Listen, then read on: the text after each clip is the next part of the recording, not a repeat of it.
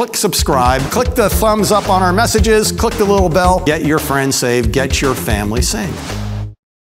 I was going to talk about the chastisement of Israel in the tribulation, and I believe God was directing me towards that. But then, midstream, the Holy Spirit said, I want you to preach on something else. I want you to preach on charity and what charity means and how important it is for us to change our lives and get our brain and our actions into the groove with what God wants us to do. And that the church largely has forgotten what charity really means. And we think what we know what the word means. I'm going to hopefully change that for you permanently here today. We're going to wipe away the old word of charity and give you a brand new word. So I'm going to talk about this old fashioned concept of charity, old fashioned, not just old fashioned 100 years or 200 years or something that only happens around Christmas time, but something going back to the days of Jesus, something going back even probably right after the fall of man. And we're going to talk about giving, we're going to talk about charity. And we're going to try to change our lives and our behavior to support that. Let's go over to uh, Matthew chapter 19. Matthew 19. And I'm going to pray. Father, I thank you for this word here today. I ask that I deliver it with power and authority. I ask, Father God, that not one word would be robbed from anyone here, anyone watching on television, anyone watching uh, these videos later on. And Father, I thank you that there's no distractions here. I bind up the I bind up distractions of noise and people uh, just not hearing what's happening. I bind up those distractions and send them out in the dry places, never to return. And I command it done. And Father God, that I would deliver this delightful meal with energy and according to your Spirit. In Jesus' name. And all God's people said, Amen and amen. Matthew chapter 19, starting in verse 16. And someone came to him and said, Teacher, or good master, what good thing shall I do that I may obtain eternal life? And Jesus in verse 17, and he said to him, Why are you asking me about what is good? There is only one who is good. But if you wish to enter into life, keep the commandments. It's interesting that Jesus notes in his earthly tabernacle that he is not walking in the perfection of his Father. He is certainly sinless, but he's not walking in the perfection of never having a human body that has been contaminated with the sin of mankind. In verse 18, then he said to him, Which ones? And Jesus said, You shall not commit murder, you shall not commit adultery, you shall not steal, you shall not bear false witness. All right, a lot of things uh, that people just don't have a problem with any longer today, even in the church. And I know I do a lot of uh, talking about the church, but I think a lot of pastors that are watching us right now, there's a lot of pastors watching before they go to their services in the morning. I know of pastors in California that watch our live broadcast before they get up in their own pulpits in California, maybe in other states. I know that pastors that are watching uh, overseas, that are watching in different time zones, right now for many of them, it might be two or three o'clock in the afternoon in Africa and in India, they want encouragement to know that they're not alone in making demands on themselves for preaching the right thing to their people, even though times are changing. Can I hear an amen? All right, so you shall not commit murder, you shall not commit adultery, you shall not steal, you shall not bear false witness. A lot of these things are happening with church people and are being endorsed by church people. Honor your father and mother and you shall love your neighbor as yourself. How many people, uh, how many parents allow their children not to honor them? Every time we see, I was watching some things on uh, a breaking uh, podcast about something that was uh, made, I think it was in Memphis, Tennessee. Maybe some of you saw that, and a brand new thing was brought out there. And because so many parents have not taught their children to honor adults, there have been things going on that you just destroyed in two weeks. Something that was brand new, that was built, giant, brand new, very expensive, that was built for the community and already was being torn down and destroyed because the young folks just don't have an honor uh, for parents, and therefore that honor doesn't, does, there's no honor, and that translates into no honor for those of gray hair, no honor for those in leadership. And when we teach our children to honor us, we teach our children to honor leadership in our communities, and properly so. And that's missing. So he said, Honor your father and mother, and you shall love your neighbor as yourself. And the young man said to him, All these things I have kept. What am I still lacking? And Jesus said to them, If you wish to be complete, go and sell your possessions and give to the poor, and you will have treasure in heaven, and come and follow me. Now, he's not asking them to be impoverished permanently. Once you know how to make money, and once God reveals to you and gives you faith in how to make money, if you sell everything and give everything away to the poor, it'll be only a matter of days and weeks, maybe, maybe months before you're starting to feel like you're back on your feet again. Because you, you have your connections, you know who to talk to, you know who the bankers are, you know who the lenders are, you know who the, who the idea people are, you, you've had people in your community working for you. So it's not like it's a permanent curse that he's putting himself under. But he said, just go and try this. It's interesting to note also here that if he asked this of a poor man, the poor man would say, well, whatever whatever I got, I'll give up if that's going to do any benefit. Because sometimes poor people recognize if you don't have that much. I don't want to say poor people. That sounds like a bad word. People that do not, that are coming up in the ranks say, okay, I, I think I can give that up for a while. Notice he didn't tell a man that was a family man this thing either. We don't know that he had a family. We don't know that he had children, so we don't know if anyone was going to be affected by his giving uh, to the poor. But I'm assuming for lack of other information, and that Jesus would not want to impoverish a housewife somewhere and for her to come out and say, You told my husband to give away everything he has. I don't believe in you anymore. He said, That's not that type of thing either. So, but Jesus is challenging him. Verse 22 But when the young man heard this statement, he went away grieving, for he was one who owned much property. And Jesus said to his disciples, Truly I say to you, it is hard for a rich man to enter the kingdom of heaven. Now, the kingdom of heaven is not going to heaven. The kingdom of heaven is operating in the blessing realm here in the earth by using the tools that Jesus gives us. So there are tools. The kingdom of heaven is the operation, the royal operation of heaven through humans through a human vessel, you and me, through a human vessel in the earth. Let me, let me just briefly, we'll keep reading here in a moment, but if there is prophecy that needs to be fulfilled, but the prophecy has not yet been given, no one knows that it needs to be fulfilled, and heaven has not yet been warned that that prophecy is supposed to even come to pass. What if we didn't have all the prophets in the Old Testament concerning Jesus? There's thousands of prophecies concerning his birth and his life and his death and his resurrection. Thousands of prophecies. And yet, if we didn't have any of them, how would we know that Jesus was the Messiah? We can take it down just to our level in, in today's society and say, unless we prophesy, how does the people know to say amen to something positive or something that is going to happen in the future that may have a positive effect either on us individually or the church. We don't know. It has to be spoken out, it has to be done.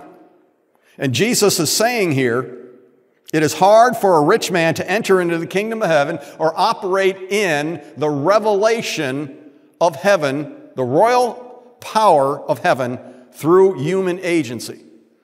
And so, if we're going to have power in our life, we need to know that there's different ways to operate in it that seem See, we can read this about this rich young ruler and we can say, I don't know what he was thinking. Man, he, you know, I've heard some teachers say he would have been the next disciple after Judas was gone, and that might be so. Whatever the, you know, that's conjecture, but I can see one thing that Jesus is saying is how hard it is to enter the kingdom of heaven. In other words, the royal operation of the kingdom here on this earth. Remember what the, our Father says Your will on earth as it is in heaven. Your will on earth. God wants His will here. So, and the only way that His will is going to be established is going to be through you. It's going to be through your actions, not through preacher's actions, but through your actions. Your individual actions will determine how much the kingdom of heaven is manifested in the earth. And he's saying, go and do this thing. But Jesus not only stood the natural that the rich young ruler understood, but he also understood the supernatural release of power by doing these things. So, that's our introduction. So, what he was talking about was giving to the poor. Now, there is a thing out there called philanthropy, and philanthropy means is generally a term that's only used in wealthy circles. And there are different levels of wealthy circles, and you may not know this, but there's a wealthy circle just above you, and then there's a wealthy circle above that, and then there's another several wealthy circles above that, and they go off in the different directions doing different things. There's a lot of different levels of wealth, and at every level of wealth, you get to a certain level of philanthropy. And so we could say, generally speaking, that a level of philanthropy would be maybe uh, building a hospital uh, will, or uh, an individual saying, I want to put up a hospital, I have a lot of wealth. Or I want to establish a sports stadium because I have a lot of wealth. Or I want to uh, pay for the bills of everyone in a town. I read about that happening in Michigan some 20 years ago that some man came into a town and paid all the back tax bills of everyone that lived in that particular town. That's pretty cool. Philanthropy is generally assumed, and, and rightly so, that it's just done amongst the wealthy, and is generally done amongst the wealthy to benefit society at some level, but it's more to benefit themselves because there's always some strings attached. They get their name, have their name on that library. They get to have their name on that school or that university. Uh, they, they, you know, their names are in the public eye, and there's a certain amount of, a little bit of ego attached with that. But it's okay because when we are giving, I think giving to the poor is a scream. I, I, I, think there's all kinds of ego attached to it. And if you've never practiced it, then you need to start practicing it, and you're going to see why today. I think, it's, I think it's a blast to give. I think it's a blast to give even to people on our own level. Kathy and I were living in a one bedroom apartment, uh, and we had two incidences where God spoke to me and said, I want you to give an entire paycheck away. And the first incident, I believe, if it was, if I have the order correctly, was just a, I think about two or three weeks before Christmas. We were very broke, living in a one bedroom apartment. And the Holy Spirit spoke to me and said one of her relatives was living right behind us. Her husband had just recently left her.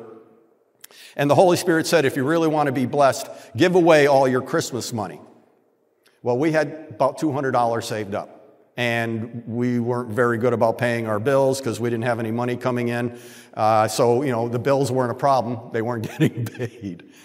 Uh, so I went to her and I said, I think God is telling me this. And, you know, she had to go off and, and fight those demons back that were talking to me.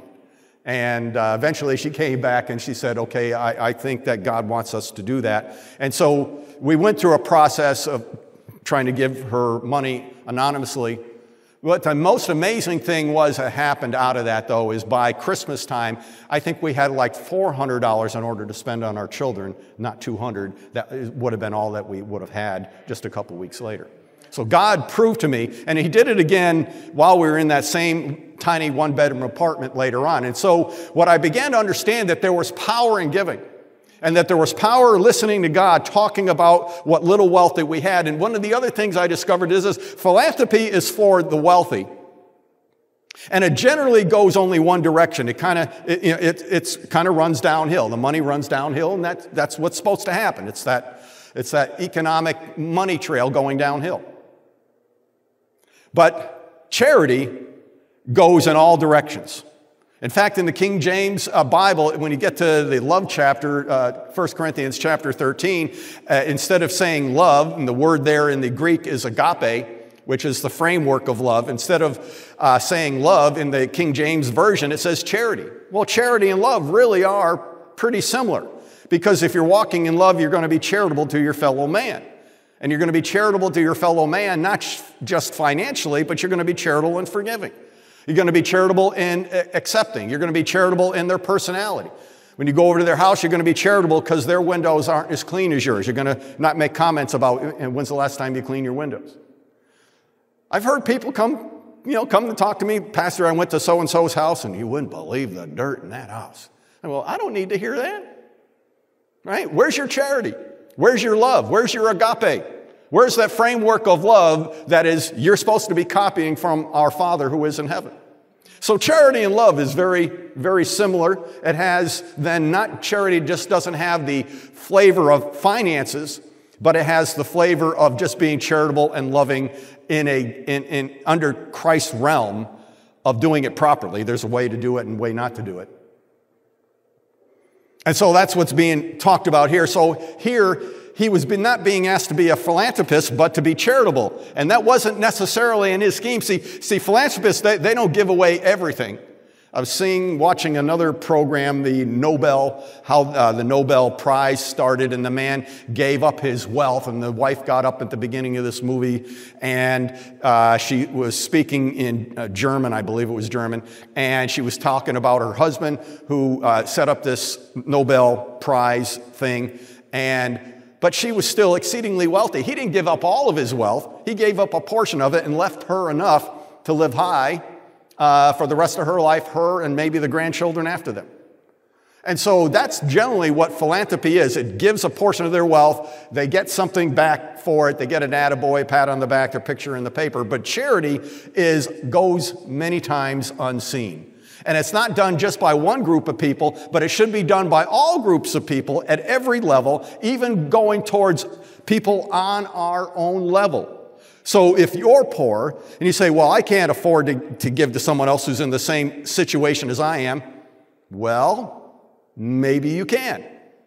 Maybe you can because you got God, you got the Holy Ghost, you got Jesus, and they may not. And that gift may break them down to say, maybe I need to look outside myself if it's coming from someone on their own level. Can I hear an amen? amen. Praise God. So, I was pondering this thing. I remember when I first gave my heart to Jesus Christ, one of the things I did is I watched this one man that was out of Texas, out of uh, Dallas, Texas. He had a church there and a ministry there. We eventually went to go see him. But he had a program on that I used to get up at 5:30 in the morning and watch. This is when we had rabbit ears and you couldn't record anything. And he talked about all the different times that money was, in, was recorded in the Bible. And then after his program went off the air, I found another man that his name was Larry Burkett, I believe, and he talked about the financial aspects of the Bible and, and the proper uses of money. And for those of you that are old enough, you might remember his name because I think he's been dead now for 20 years. But anyway, after a while, I began reading my scriptures and I began to find out that you know, you can't hardly read a chapter in the Bible where money and the appropriation, a proper appropriation of that money is being talked about. It's very, very difficult to do. So God is talking to us on prophetic levels, but He also talks to us on natural, feasible, workable levels, things that are practical in our daily life to do, although we may not understand the reason behind it. We don't understand the spiritual reason behind it. So in Judaism, whenever someone is talking about money and you're seeing Jews talking about money, like is going to be talked about here. Jesus being a Jew, his disciples being Jewish, they're living in the land of Israel, uh, a, kind of a Jewish area. And so he's talking about Jewish things from the Hebrew scriptures. And so when you're talking about how hard it is for a rich man to enter the kingdom of heaven, Again, not talking about going to heaven, but to enter into the power and, and the authority of God in the earth, which God wants us to do. The disciples had a really hard time with that because they understood that if you were righteous, if you love God, God would see to it that He would bless you. So we're going to see this here as we continue to read this. Let's keep reading now in verse 23. And Jesus said to His disciples, Truly I say to you, it is hard for a rich man to enter the kingdom of heaven. Again, I say to you, it is easier for a camel to go through the eye of a needle than for a rich man to enter the kingdom of God. Now, again, he's talking about that royal operation, and he's not talking about a camel passing through, being threaded through a needle, but they had what was known as eyes of the needle uh, in generally in walls, uh, walls that would protect the city, and it would be enough if you took all the burden off the back of the camel and you asked the camel to walk on its knees in many cases, not all the time, but in many cases, they would crawl on their knees through maybe a 20 foot thick wall, maybe a 40 foot thick wall, grunting and spitting and making a noise. They get through the other side. It's easier for a camel to pass through the eye of a needle than for a rich man to enter the kingdom of God. That's the illusion he's giving there. Isn't it interesting? The camel has to take everything off his back. The rich man should have been taking everything off of his back that he loved, that he was attached to. He should have gotten on his knees and walked. We should get on our knees and walk. And when we begin to do that, then we can start seeing and hearing God's voice more clearly. Amen. And so, charity is a biblically based concept. It has religious values, uh, it has religious moral values. Uh, it's a responsibility that doesn't come from above or come from attention, it comes from within. And that's what God wants in us. So, one of the things that I just read to you in Second Kings is that charity can break curses that can break all kinds of curses. Now, in this particular case, what do you think that we were probably dealing with in this young rich ruler? And whatever happened, a lot of times what happens in families as they begin to get empowered, there's a term out there called nouveau. It's a French term, nouveau riche, meaning newly rich. So as people begin to come up out, uh, you know, they're walking in God and the families are beginning, beginning to get blessed. One of the problems that can creep in, it's spiritual, can be the spirit of covetousness and the spirit of greed. And the spirit of covetousness and, and, and, greed may not be on the parents, but it could be on all the children. Or it could be on a couple of the children. And then when you get down to the third generation, it might be on a lot of them because they have a lot of wealth, but they don't know how a grandma and grandpa got it. They don't know how God blessed them by them being obedient to the Word of God. And now the whole concept, the religious concept of moral charity is lost. Do you know what the average is for a business?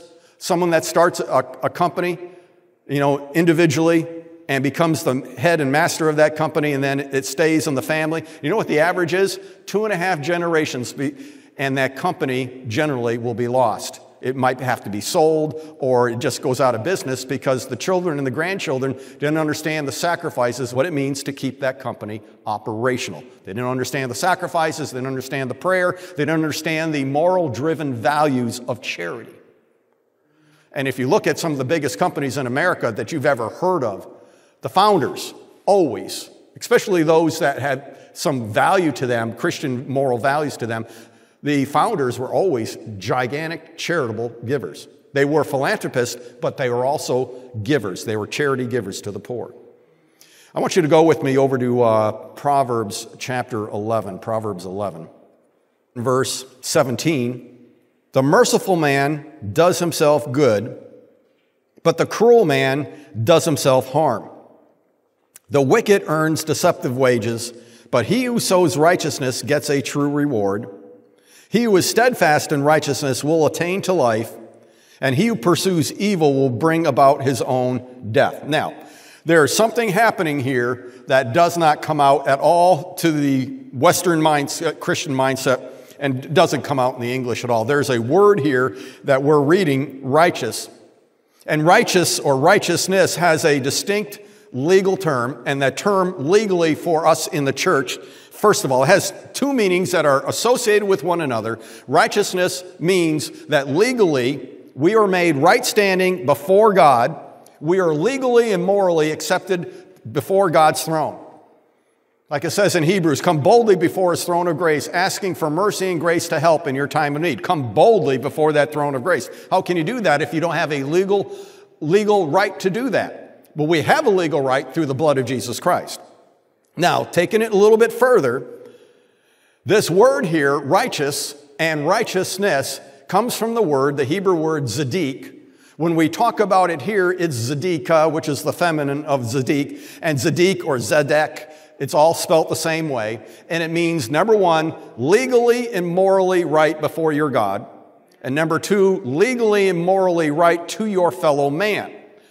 It is almost always translated in any type of Hebrew Bible or uh, uh, a, a Jewish Bible, depending on its application of the word Zadik in that particular sentence in Scripture, Old Testament Scripture, it'll apply either to the right standing of that man before God or right standing before God because of his treatment to his fellow man. But Zadik means charity or it means legally and morally doing the right thing with a charitable view of how God is looking upon what you're doing. So it changes your moral code inside and it changes how you react to everything else that you see around you. How many of you, when you see someone driving up the street, and I don't want to see a, show of hands, but how many of you, when you see someone driving up in the street and they're driving, you know, a car that's held together with, you know, with bumper stickers, and if they weren't there, it'd fall apart. The bumper's falling off. The, the license plate is hanging in the front. You know that the tail light is out in the back, and they probably get pulled over all the time because the, the car is just a beater. I used to think before God got a hold of my heart, I used to think things that were not proper. Not to say that I was never there. I've been there many times. But it's interesting when you get out of being in those times, and then when you look at someone else that's going through what you were just experiencing two years earlier, how you have a different attitude about yourself. And so you begin to look down. You have a condescending viewpoint of them. And so now I see it and I weep. Sometimes visibly weep. I'm driving my own car and I see someone else going, if they would only know the secrets of giving to the house and the kingdom of God, in six months to a year, they could be out of that situation. See, a lot of times I preach about charity, and I have a, few people in Africa, and they like to take advantage of that and they'll go, well, then give to me. But I've turned around and asked them, you give to me. You give to this ministry. We're blessing you. You give to this ministry. You know, many of these pastors, they can't do it because they haven't trained themselves. They've always, only trained themselves to take, take, take, never give, give, give. And that is, that keeps the spirit of poverty on them and it's only broken by giving. People locally even will ask me, Well, you talk about giving here, give to me. Well, what have you given back to God? What have you done for the kingdom? Until you break that spirit of poverty, you're always going to be asking for a fish, even though I taught you how to throw your line out there yourself and get a whole net full.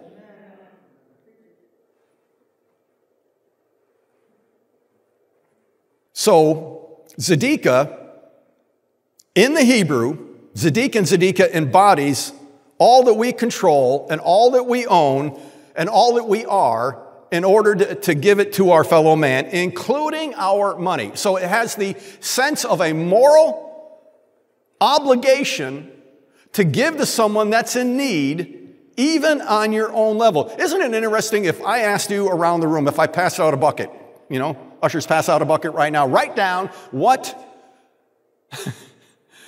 What financial level are you at? I want you to use just really, you know, economic terms, just, you know, non, non-religious terms. What financial level are you at? Most people may not know what to say. And the, the ones that do know what to say, they may turn and look at their other neighbor writing down something they don't know what they're writing, going like, well, they're not where I'm at, or they're way above where I'm at. And you know, life fools us. You can have a bunch of loans and three cars in the parking lot and be going from paycheck to paycheck.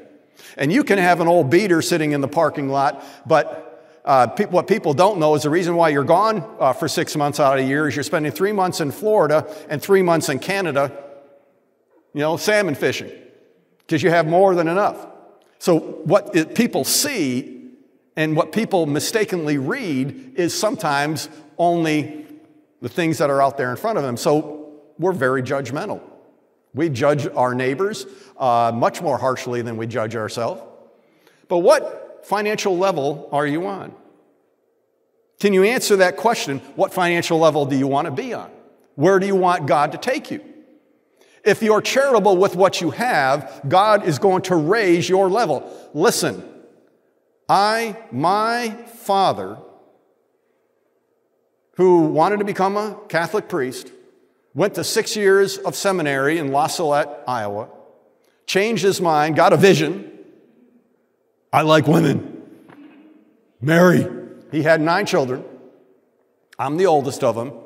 When I talk to my father to this day, he says, Well, I, you know, we, I, I took a vow of poverty when I was, which is one of the things that these priests have to take. A vow of poverty. Well, that's the spirit of poverty. And I don't know what got into my head, but I thought if I was going to be pleasing to God, even though I, wasn't really exactly saved, if I was going to be pleasing to God, being poor was better to be poor than to be rich, because rich people, they don't go to heaven. That's what I thought. And so I thought anyone that was a little bit wealthier than me must have been in sin, must have been selling drugs to get that money, uh, you, know, you know, whatever they did wrong in order to empower themselves with finances. And that's, that's, not, that's not godly either. That's not God. That's not even biblically based. But a lot of preachers out there say, well, anyone that's talking about money and talking about prosperity, uh, they're not preaching the Bible. What Bible are you reading? Because money is all over the Bible, starting in the Garden of Eden. And the gold of that land, the gold in Havilah, was good. Genesis chapter 2. And the gold in that land was very good. Why is God even talking about gold? Because later on, he's going he's to say that you're going to use gold as manna, which later becomes money, our English word for money here today. Manna is one of the things that now, manna is a measurement of that gold. They, people come to me and they say, well, the Babylonians invented gold or invented money. No, no, no. God invented money. And God had a plan for money, and He had the gold there, and the silver there, and the copper there. He had all the things there. We can read about it in the first 10 chapters of the book of Genesis. So God had a plan. All right, so I want you to just uh, go over with me. Uh, well, let's go over with me to uh, Matthew chapter 6, Matthew 6, verse 20. But store up for yourselves treasures in heaven where neither moth nor rust destroys and where thieves do not break in and steal. For where your treasure is, there your heart will be also. All right, so he's talking, if you read back a little bit, He's talking about money in verse 19. He's talking about wealth, money, land, value. Now, then he goes in what looks like a change of a discussion, but this is just simply because we don't understand the words of Jesus and the Mediterranean concept of an eye. But look at this now in verse 22. The eye is the lamp of the body. So then, if your eye is clear, your whole body will be full of light. But if your eye is bad or evil, your whole body will be full of darkness. And if that light that is in you is darkness, how great is that darkness? Okay, we're going to keep reading in a moment. But when he's talking about an evil eye, what he's talking about is not looking at, at women or looking at men and thinking about sex or, or coveting your neighbor's house. An evil eye is someone that looks on what they possess and they look on it and they don't want to let it out of their sight. I talked to a banker back, I don't know, 20 years ago, 15 years ago, and he said that when that thing was happening in 2007, 2008, I came and sat down in his office and he said, he, he hung up the phone. He said, I've been having a bad day, something to that effect.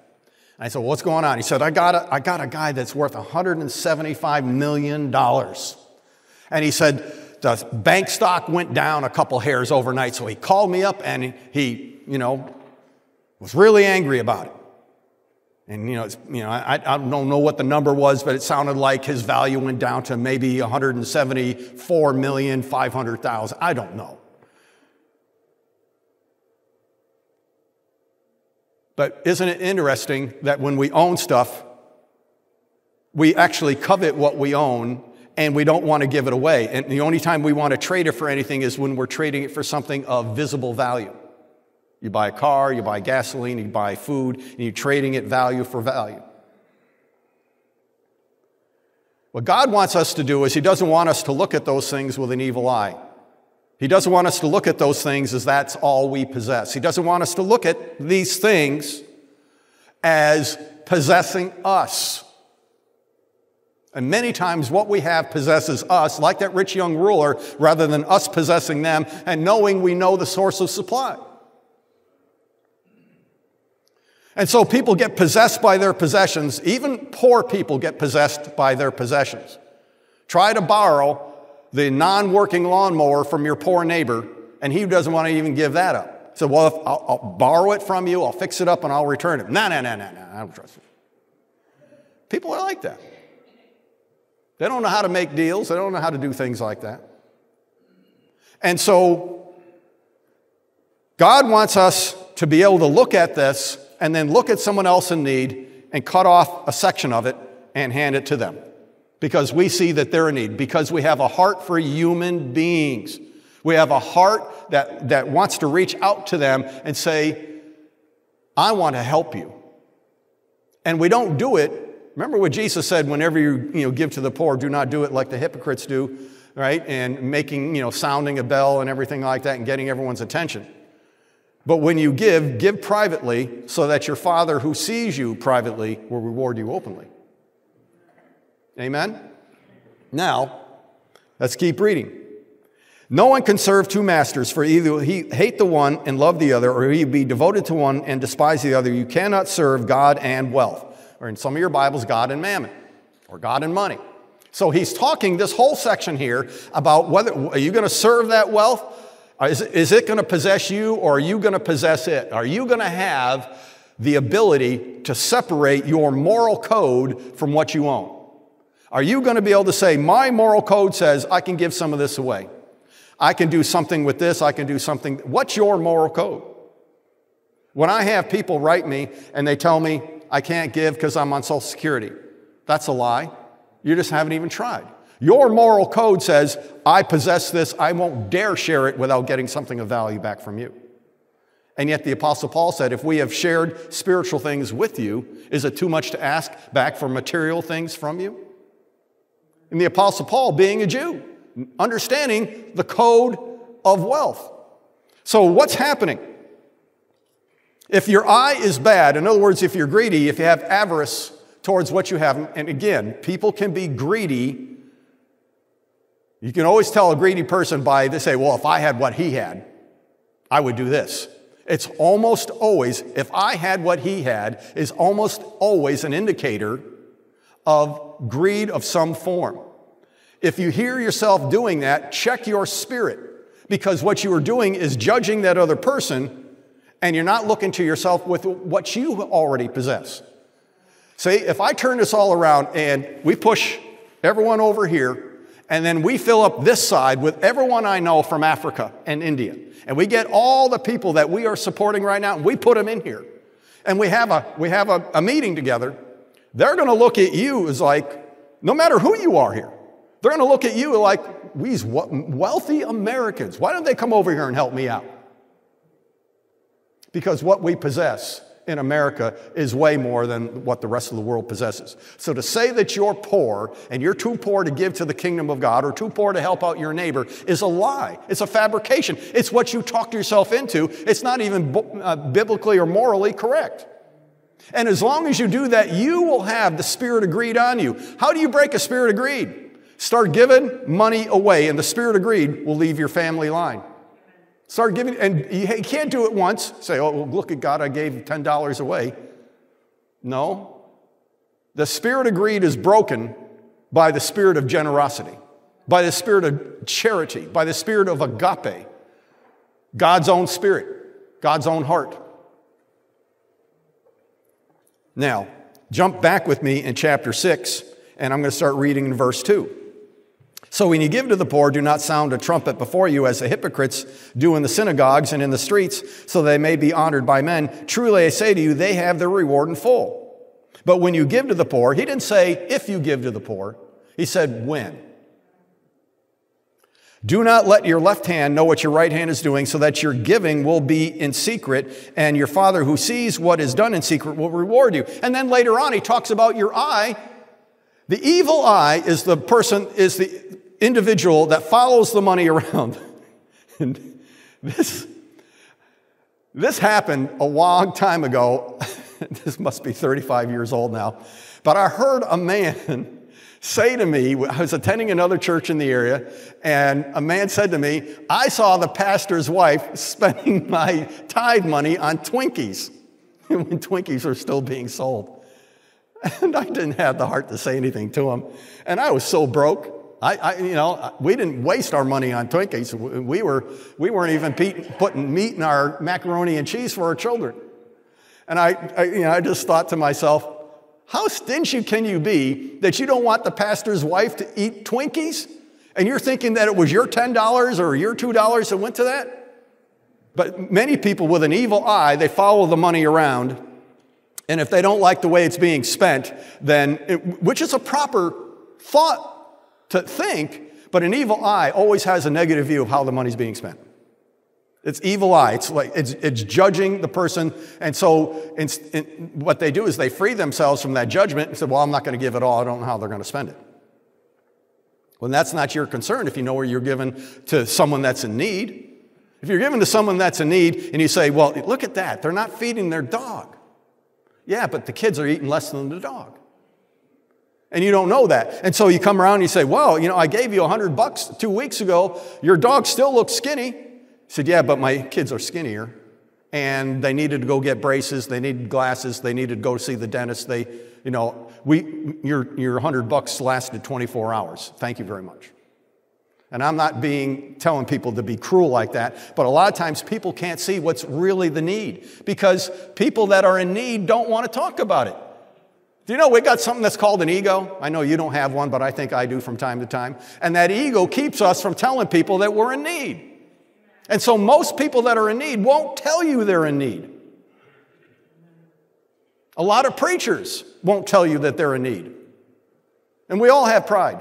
All of us have pride. We're not, we are not free from it. We just have to control the levels of pride that's in each one of us. And hopefully we can squash it down enough and keep it padded down there for another 24 hours. So, what does charity do? I can tell you that charity breaks family curses. And what we just read, we, we know that giving or charity can break the curse of death. It's, it is literally breaking a spirit. And the Jews understand this. Now, I don't know about modern day Jews, but the Jews that you know wrote a lot back 2,000 years ago, 3,000 years ago, they understood the concept, the spiritual connection, and using your moral code to what you owned naturally. And this is what that rich young ruler had lost sight of. The Apostle Paul talks about this all the time. You know, and, we look, also read in the, in the book of Luke Give and it shall be given back to you, pressed down, shaken together, run, running over, shall men heap into your bosom. When I, we make, we love coffee, you know, we like the dark French roast. Thank you, Dennis.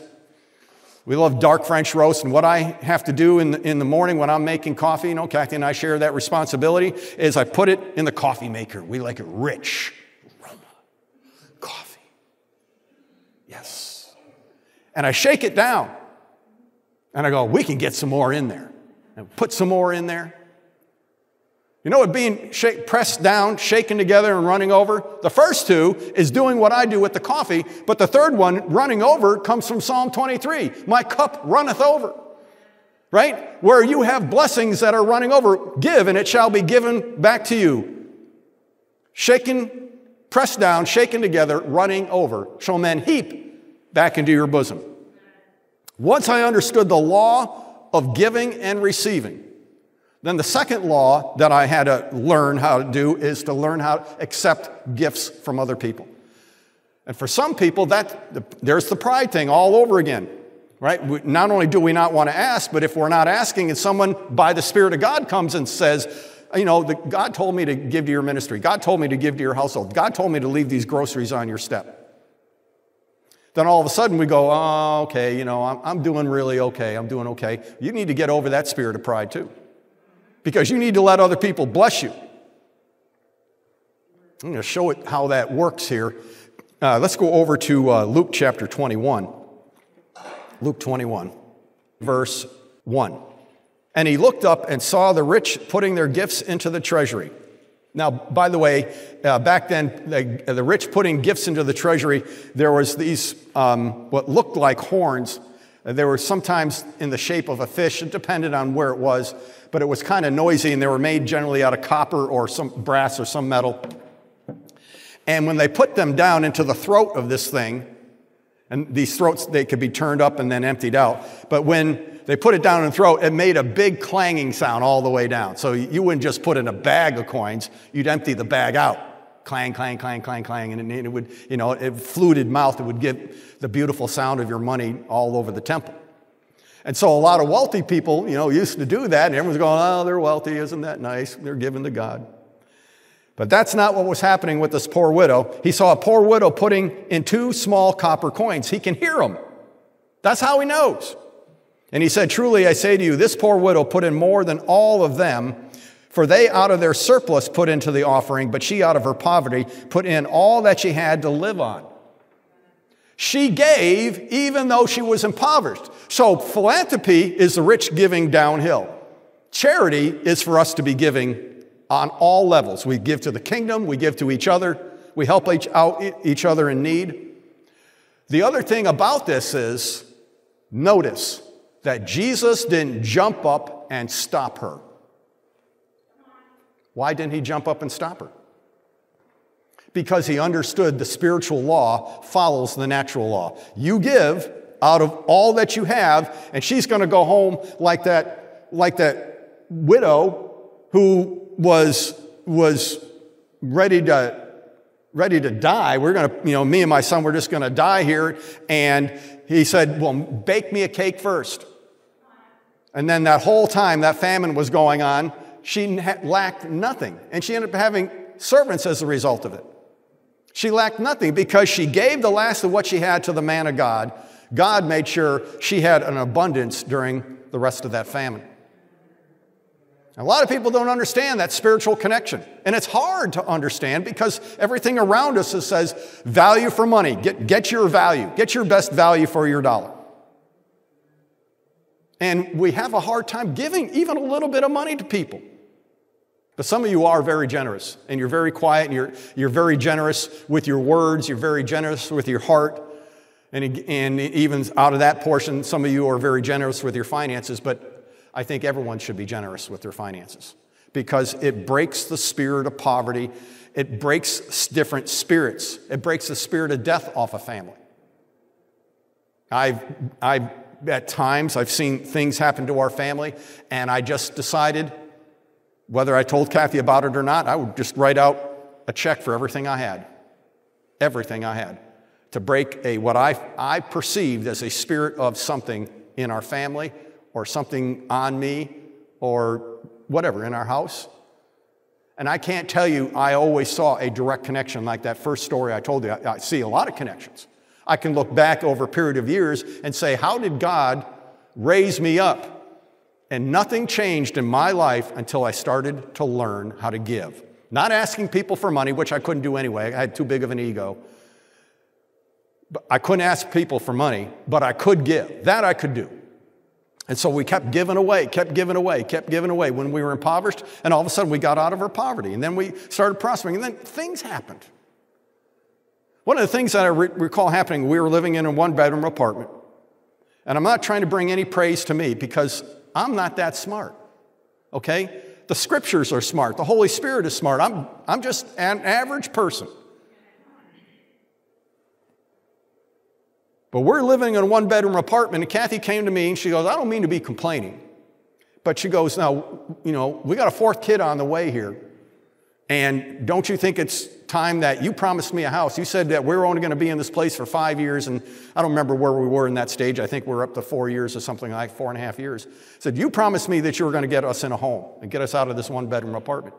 And when I say we were in a one bedroom apartment, she don't like to remember it or have me talk about it, but it really happened. It really happened. One bathroom, a sheet in between us and the kids at night. It really happened. And all of a sudden, one day, a man came to see me about my age. He said, God spoke to me and said, I'm supposed to design a building for you. what? You're supposed to design a building for me? He said, Yeah, I got the plans all drawn up. I go, Who are you? He go, well, I, I live outside of town on a farm, which he did. He goes, he goes, I love Jesus, and, and I don't know who you are, Dave, but God told me to design a building for you. So he rolls out seven pages of professionally printed out blueprints of a one story, no basement building that was 60 by 40 or 80 by 40. 60 by 40. Had windows, had a garage, had everything. Six, no, that was in December. That was in December of 1987, I think, or 1980, whatever the year was. And a month later, I was driving, and the Holy Spirit said, I want you to buy this piece of land. I, many of you have heard the story without me going into it, and I didn't have any money. And then a man I was selling to came and said, Dave, what are you up to? I said, Well, you know, I do this and I do that. He said, Dave, what are you up to? I go, Do this, I do that. And I thought, This man's getting awfully personal. I think I need to leave. I really was thinking of leaving, standing up, just leaving. He says, Goodbye, I don't know who you are. And he goes, No, Dave. He goes, I'm a Christian, and the Holy Spirit's telling me to ask you what you're looking at. I said, Well, I'm looking at a piece of land over here. He said, Go and negotiate for the land. I'll secretly give you the money. And within two months of, I believe, it might have been three, of Kathy asking me, Don't you think you deserve to get me into a place because you promised me? I had plans for a building. I owned the land without a, going to a bank. And now we were moving and moving under construction. By this time, when anyone came from India or Africa to town, and I heard they were preaching in a church, if I had $500, which was a lot of money to me, if I had $500, I would go and hand them the cash in an envelope and say, Don't tell the preacher. Because a lot of these preachers didn't know me, and if they did know me, they thought I was a loudmouth Christian, so don't get them angry at me, just here, keep it quietly. I did that regularly, sometimes every month, because there were, at that time in, in my, our town, a lot of people were bringing in foreign missionaries and, and foreign preachers. So it was easy to keep giving, and I, every time I gave, money would kind of just show up. I can't say that I could, I could follow the money trail.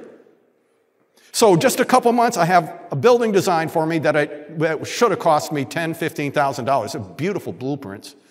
All of a sudden now I own a piece of land, 27 acres, that someone said, I'll back you. Don't tell your banker anything.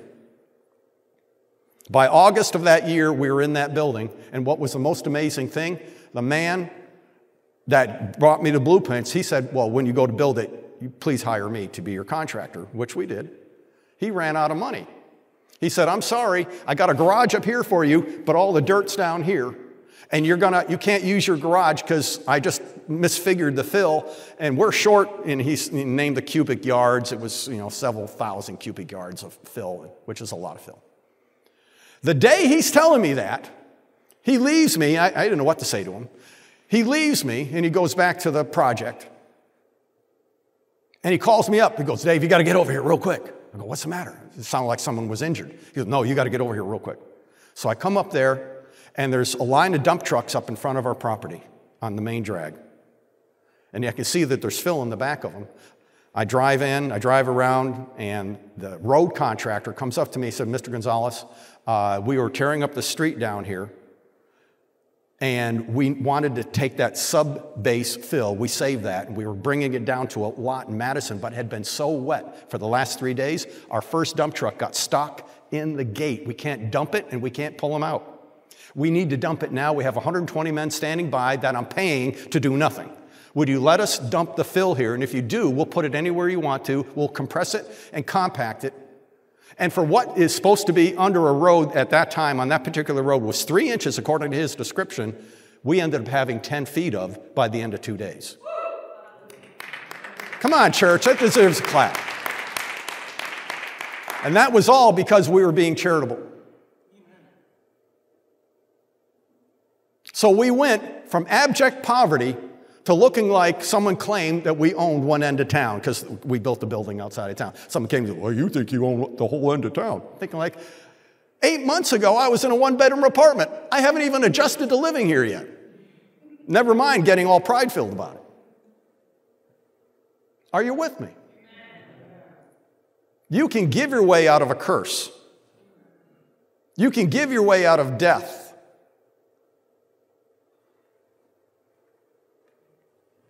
Well, we're going to read uh, three more. Go over with me to uh, Proverbs 21:13. Proverbs 21:13.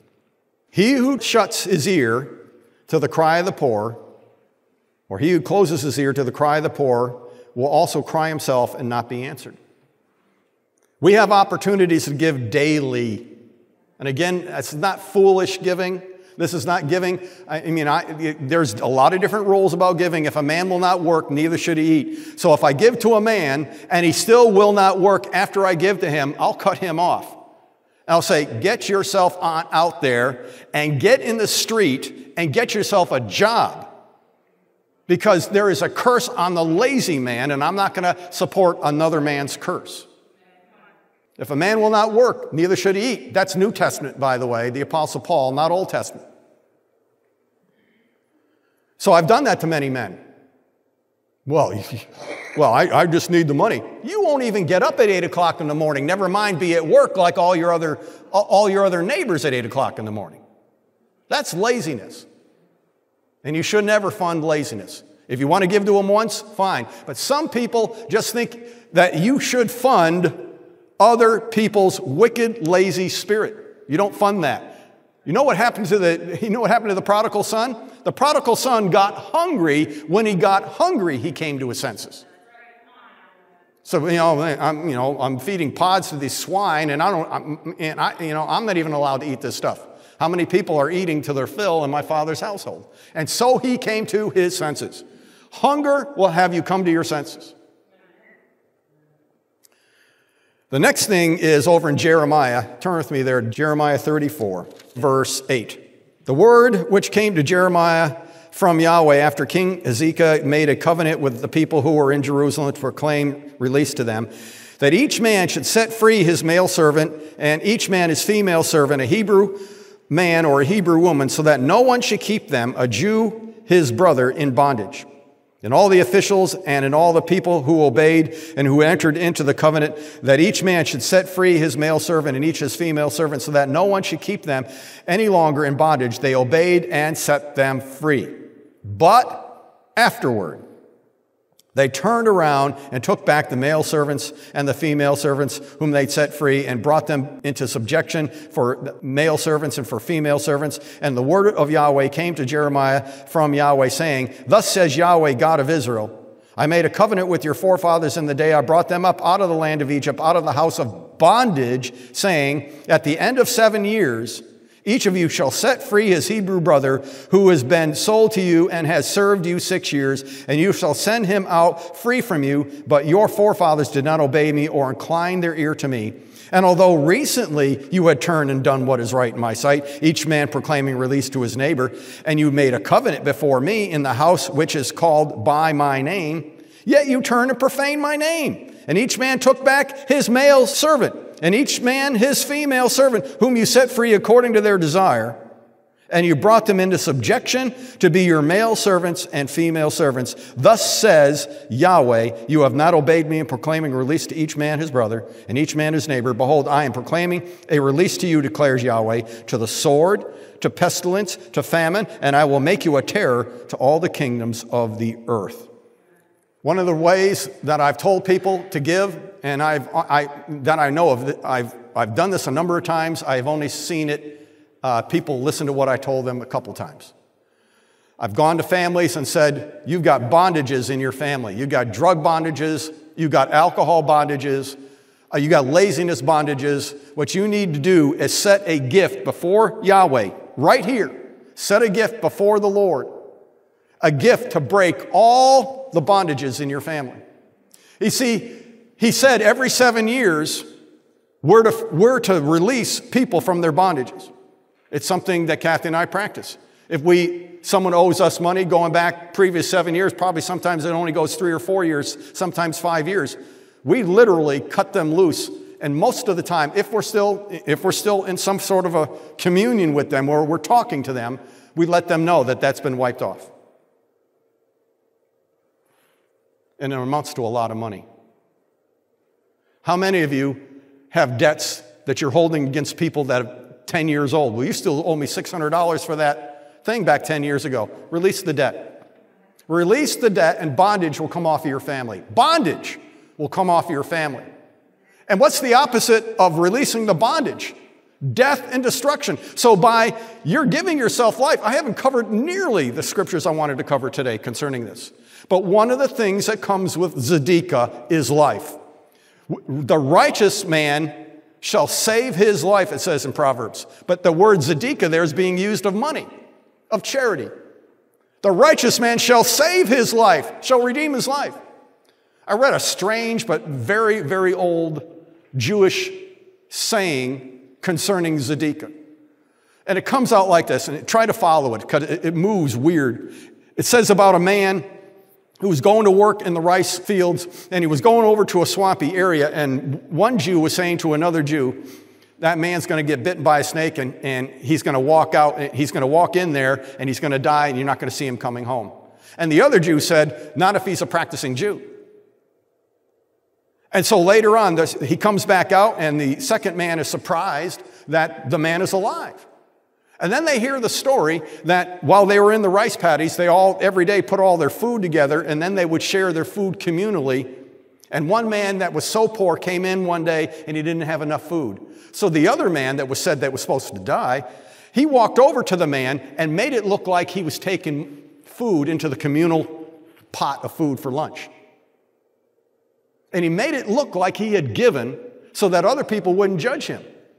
And it came out that the, the, the Jewish man that, that's giving the story, or telling the story from a positive angle, he said, This man practiced Tzedakah to his poor brother, the man working right next door to him, and not to embarrass him, made it look like he was taking food from him when he was just faking it for everybody else in the field. The point being is this. The man saved his own life by practicing Tzedakah and covering up the poverty of someone that worked right with him, shoulder to shoulder. You want to break curses off your family?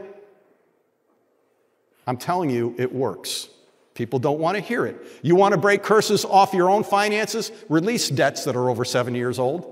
A lot of people keep them. And a lot of people keep debts that have nothing to do with money, but have everything to do, well, you treated me bad when I was, you know. Release the debt. Release it. That's part of the charity you're required to give other people. Release the debt. You don't want to be in debt? Release debt. You want to be enriched? Enrich others. You don't want to be in bondage? You don't like the bondage your family is under? Then give a gift that's a bondage of release to someone else. Don't trust me? Then give it to somebody else. It'll work either way as long as you give it rightly. It'll work anyway. It'll work. But release that thing so the bondage is broken off your lineage, on off your family.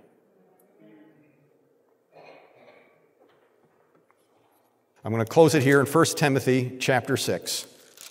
Verse 10 For the love of money is the root of all sorts of evil, and some by longing for it have wandered away from the faith and have pierced themselves with many griefs. Jump down to verse 18.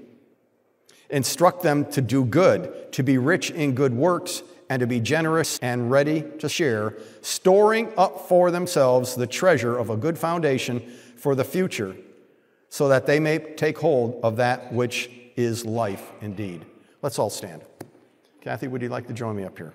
You know, if you're watching us uh, live or you're watching us on television, one of the best ways to get out of a curse is to outgive and to approach that curse as if it's spiritual and find out the component that releases that spiritual thing off of you. Amen. Today we talked about the art of giving, the art of charity, the art of Tzedakah.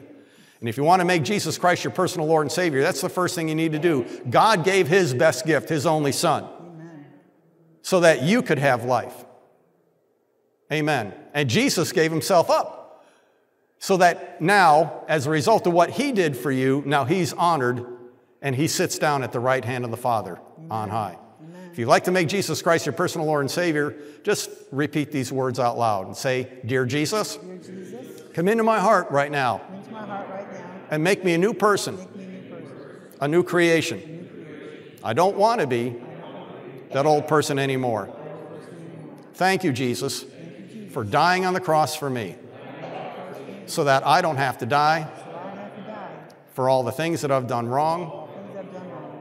In Jesus' name, Amen and amen. Now, if you just made that decision for Jesus Christ, write us here at David Gonzalez Ministries, P.O. Box 847, Lake Delton, Wisconsin, 53940. And I want to send out this free little booklet to you Is the Bible for Real? No charge whatsoever, but I do want to hear from you. And, you know, we give God honor if we heard from you in any case. If this ministry is blessing you, you should be writing us. And we got a letter, beautiful letter, uh, four page letter this week from a man that's incarcerated to talk about how he's been watching us for two years. You know, if you're incarcerated, write me a letter. If you're uh, sitting by yourself in your home, write me a letter and say what this ministry is doing for you. Amen. Praise God. And become a regular financial partner with this ministry. Also, I preach for over an hour today, and you only see about 28 minutes or less on TV. Uh, if you'd like to see this entire message, you can watch it on YouTube or listen to it on Spotify, a bunch of different things. Go to our website, mountainfaith.org. And then you can go to our YouTube channel, uh, you can go to our different platforms and different channels and watch this for free. And if you have the ability, download it for free to your device and listen to it while you're driving around, or whatever you're doing. Well, you know, uh, we'd like to see you also here in the sanctuary with us. Praise God. We are in the last days. Get together and congregate together. Be a living stone with us and come here if you're, uh, if you're sort of local and do it on a regular basis. We'd love to see you. Amen. Praise God. Amen. Well, this is Pastor Dave and Kathy Gonzalez saying, Press into God. And he'll press into you. And we'll see you again here next Sunday at the mountain.